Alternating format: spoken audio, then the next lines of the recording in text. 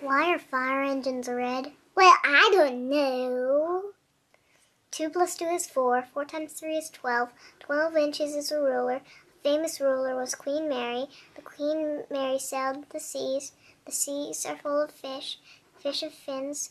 Finns fought the Russians. Russians are red, and fire engines are red because they're always Russian.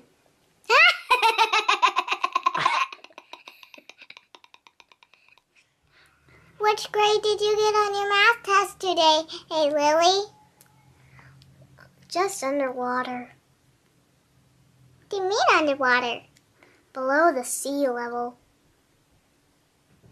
What is that?